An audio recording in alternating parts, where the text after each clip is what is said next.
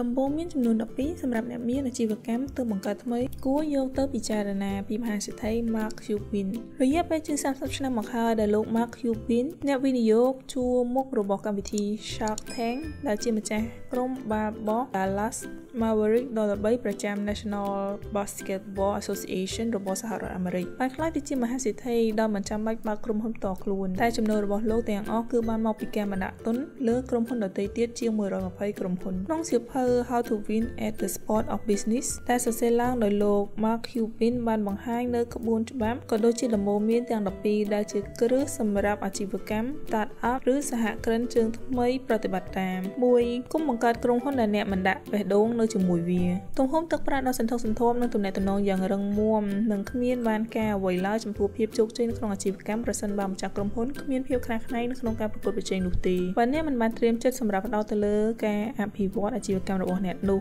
តើអ្នកណានឹងខ្វល់ពីវាជំនួសអ្នកពីគំរវល់និងយុទ្ធសាស្ត្ររកច្រកចេញពីវាជាការល្អដែលអ្នកមានគម្រោងលក់ក្រុមហ៊ុនរបស់អ្នកដើម្បីរកប្រាក់ដ៏ច្រើនប៉ុន្តែចូលកុំឲ្យប្រាក់ខ្លាយទៅជាគោលដៅដែលរារាំងអ្នកពីការពង្រីកក្រុមហ៊ុន3ជួលមនុស្សដែលស្របទៅនឹងវប្បធម៌របស់ក្រុមហ៊ុននៅពេលដែលជួលបុគ្គលិកអ្នកគួរជ្រើសរើសក្រុមមនុស្សដែលមានប្រវត្តិនិងទស្សនវិស័យខុសគ្នារបស់ពួកគេប៉ុន្តែអ្វីដែលសំខាន់ជាងនេះគឺពួកគេអាចចែករំលែកនៅតម្លៃស្នូលឲ្យគ្នាទៅវិញទៅមកដូច្នេះពួកគេអាចនឹងធ្វើការជាមួយគ្នាដោយចោះសម្រងក្នុងទិសដៅតែមួយ4ផ្នែកលក់នឹងជួយបានទាំងអស់ Mark Cuban បានប្រាប់ដល់សារព័ត៌មាន Business Insider ថាមេរៀនដ៏អស្ចារ្យដែលគាត់បានរៀននៅអាយុ30គឺថាក្រុមហ៊ុនណាក៏ដោយបើមិនខ្វល់ថាមានប្រព័ន្ធគ្រប់គ្រងយ៉ាងម៉េចក្រុមហ៊ុននោះនៅតែអាចរីកចម្រើនបានដែរប្រសិនបើពួកគេមានអតិថិជនច្រើនប្រសិនបើអ្នកអាចបង្កើតការលក់បានអ្នកក៏អាចមានក្រុមហ៊ុនជោគជ័យមួយដែរ5ហ៊ានចំណាយចំពោះការជ្រើសរើសបុគ្គលិកដែលនឹងមកបំពេញតួនាទីសំខាន់ចូលស្គាល់ពីលក្ខណៈសម្បត្តិស្នូលរបស់ក្រុមហ៊ុនអ្នកនិងផ្ដោតទៅលើវាឲ្យខ្លាំងលើពីនេះត្រូវហ៊ានចំណាយចំពោះមនុស្សដែលស្ថិតនៅក្នុងផ្នែកសំខាន់នៃលក្ខណៈសម្បត្តិស្នូលរបស់ក្រុមហ៊ុន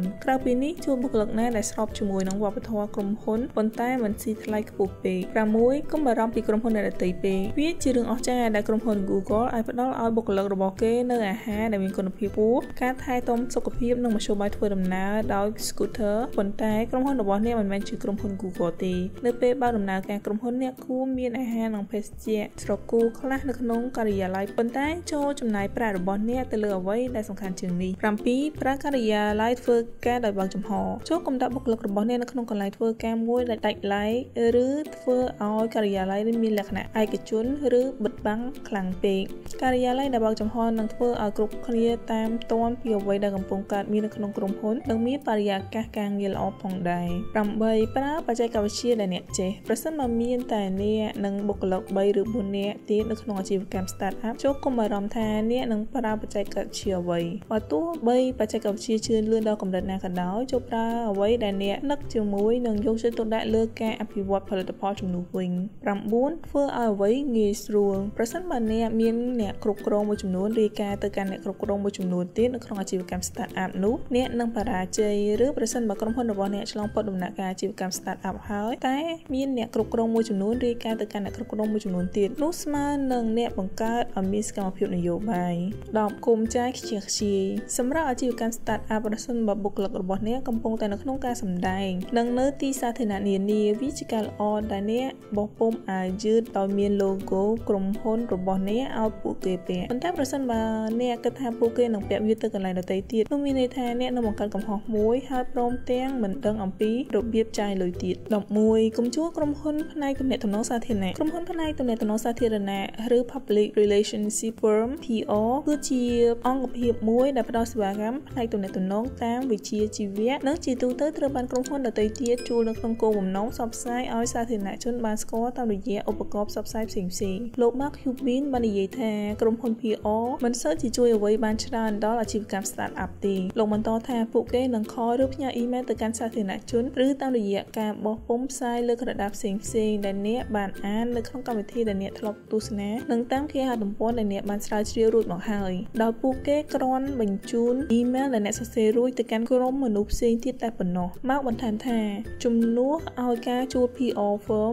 ជំនួសឲ្យការជួលក្រុមហ៊ុន PR អ្នកគួរតែធ្វើកិច្ចការនោះដោយខ្លួនឯងនិងទំនាក់ទំនងទៅកាន់អតិថិជនដោយផ្ទាល់បន្ទាប់ពីអ្នកបង្កើតទំនាក់ទំនងជាមួយអតិថិជនភ្លាមចូលធ្វើឲ្យប្រកាសថាអ្នកមានពេលគ្រប់គ្រាន់នៅក្នុងការឆ្លើយសំណួររបស់ពួកគេដែលសួរអំពីពីក្រុមហ៊ុនរបស់អ្នកហើយបើអ្នកឆ្លាតនៅក្នុងការឆ្លើយសំណួររបស់ពួកគេនោះពួកគេនឹងប្រើប្រាស់ផលិតផលឬសេវាកម្មរបស់អ្នកពីធ្វើឲ្យការងារមានលក្ខណៈរីករាយជាចុងក្រោយចូលធ្វើឲ្យប្រកាសថាបុគ្គលិករបស់អ្នកសប្បាយជាមួយនឹងការងារនិងមិនចង់ចាកចេញពីក្រុមហ៊ុន Mark Cuban បានលើកជាឧទាហរណ៍ថាលោកនឹងចេញផ្សាយឲ្យបុគ្គលិកផ្នែកលក់ចំនួន100ដុល្លារនៅពេលដែលពួកគេបានបង្កើតកំណត់ត្រាលក់ប្រចាំខែឬនាំពួកគេទៅកន្លែងកម្សាន្តណាមួយ ជាក្រុមបន្ទាប់ពីបំពេញការងារចប់អូខេអស់ហើយជាមួយនឹងគន្លឹះសំខាន់សំខាន់ដែលជាការប្រតិបត្តិឬក៏ជាទម្លាប់របស់លោក Mark Cuban បើសិនបើអ្នកទាំងអស់គ្នាបានទស្សនា